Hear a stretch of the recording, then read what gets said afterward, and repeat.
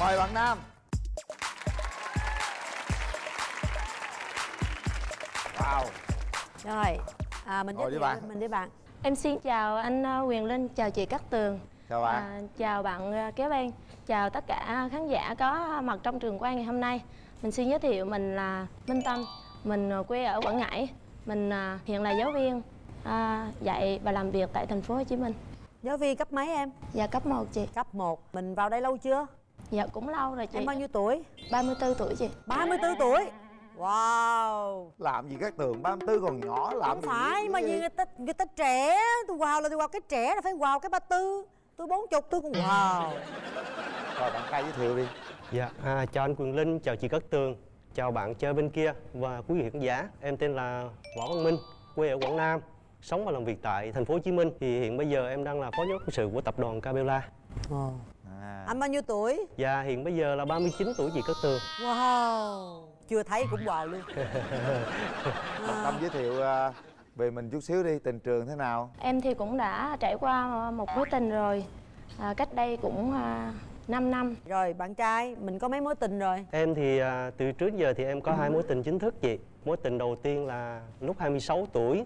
Thôi chuyện cũ bỏ qua Bây giờ mình giới thiệu về bản thân mình một chút xíu đi Em gái. Ờ, Em có những điểm mạnh và điểm yếu gì? Em có điểm mạnh đó là em ờ, biết hát karaoke.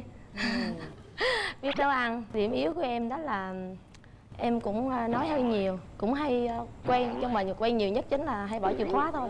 Cơ duyên nào em đến với chương trình bạn muốn hẹn hò? Nói chung là à, em được phụ huynh đăng ký và giới thiệu dùm Tại giờ thấy à, cô suốt ngày đi dạy mà không thấy có ai Nên là phụ huynh đăng ký cho em tham gia À, phụ huynh là phụ huynh ờ, Của học trò của em. học trò hả? Dạ. À. Vậy ha, lo cho chăm lo cho đời sống Rồi, của cô dữ ha.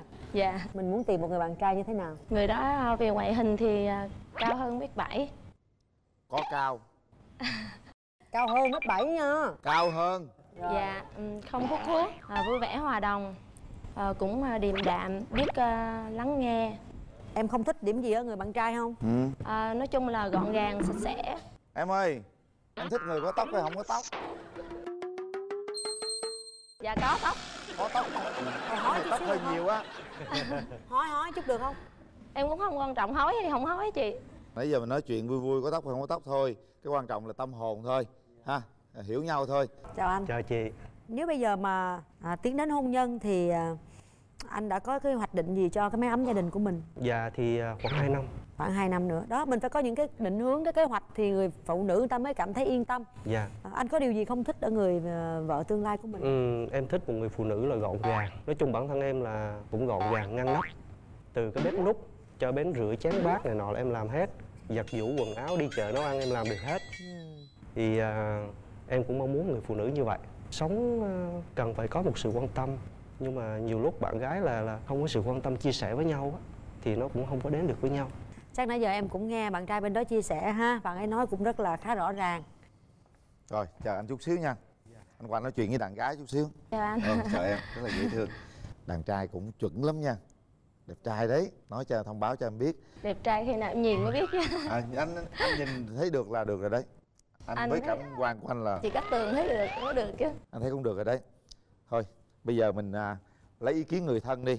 Cô bên kia thì à, cũng à, rất là dễ thương cũng cao ráo lắm nha Hôm nay mình đi với ai em? Dạ, em đi cùng với à, người à, chị phụ huynh mà đăng ký cho em tham gia chương trình này À Cùng với đứa em trai Rồi đâu ạ? Cho cho gặp ờ, chị phụ huynh đăng ký cho cô giáo. Em chào chị Cát Tường, chào anh Huyền Linh à chào chị Ờ, chị ờ, nhận xét về cặp đôi đang ngồi trên này như thế nào ạ? Dạ thì em thấy anh này à, nãy giờ qua nói chuyện em thấy anh sống cũng rất tình cảm Dạ nói chung em thấy cũng hợp với, với chị Tâm á.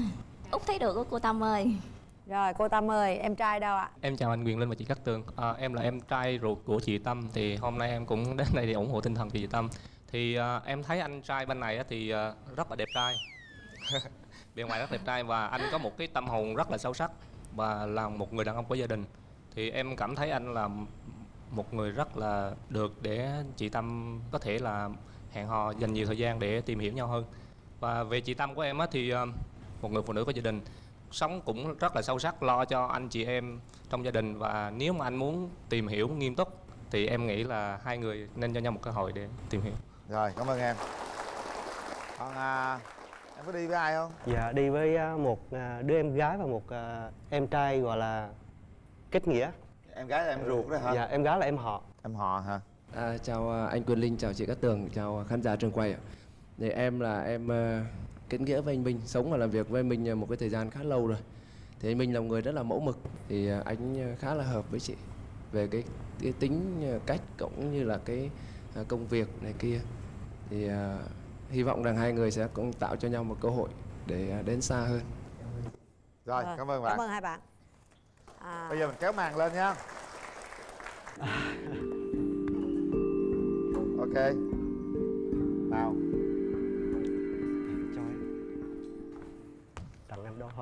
em cảm ơn anh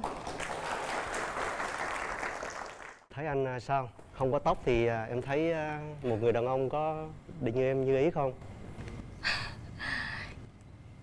Nói chung là khó nói mà có nói quá hả? Cứ nói thoải mái đi mà.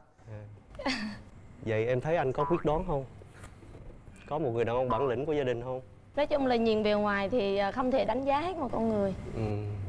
nhưng mà về mình cũng có một cái cái nhận xét đúng không? Ví dụ như anh nhận xét em là một người phụ nữ nói chung xinh đẹp. Đó, là như vậy. Cái điều thứ hai nữa là có một cái nghề nghiệp là tương đối giống như anh mong muốn. Dạ. Tại vì ở công ty anh nhiều bạn xinh gái lắm nhưng mà anh đi tham gia chương trình này là cả phòng nó là bất gì anh phải tham gia. Nhưng mà đó là một cái mẫu người mình muốn chọn để mà mình đi đến cái hôn nhân cuối cùng. Chứ không đây là một cái cuộc chơi hay là một cái cuộc dạo. Đó là như vậy đó là tính anh nghiêm túc. Đó thì à, thứ hai nữa là em lại là đồng hương với anh nói chung miền trung. Mà cái quảng ngãi thì hồi trước thì anh đi à, dự án kiên cố hóa trường học thì anh đi hết rồi. Không biết em ở huyện nào? Em ở Sơn Tịnh. Sơn Tịnh hả? Em đi lên Ba Tơ chưa? Chưa, trà bồng lên chưa? Tây trà? Dạ chưa. Chưa? Dạ thưa anh nói chung là em cũng à, ít có về quê. Ừ, thì um, anh muốn là dù sao tuổi thì nói chung cũng lớn rồi anh mong muốn sẽ cùng em được có một cái hàng hẹn hò và tìm hiểu nhau để mà có một cái ờ, cái cái gia đình sau này nó êm ấm, hạnh phúc. Nếu có khó khăn thì anh sẽ là người chịu khó đầu tiên.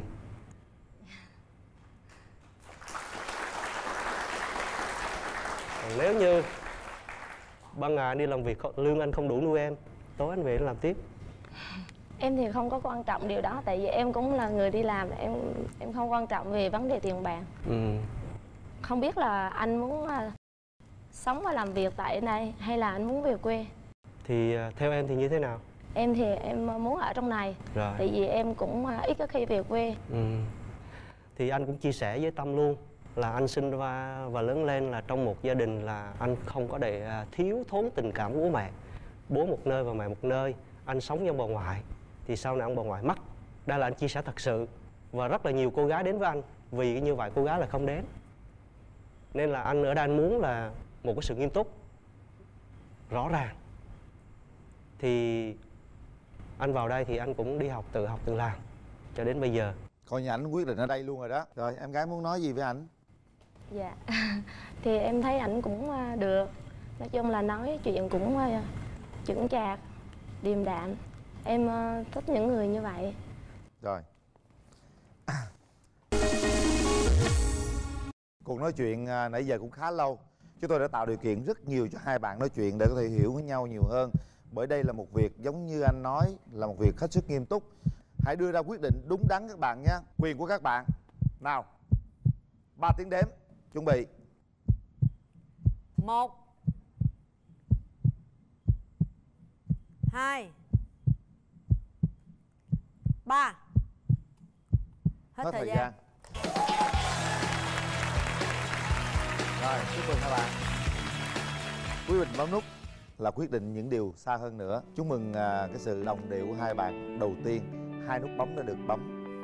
Nào hãy nắm tay nhau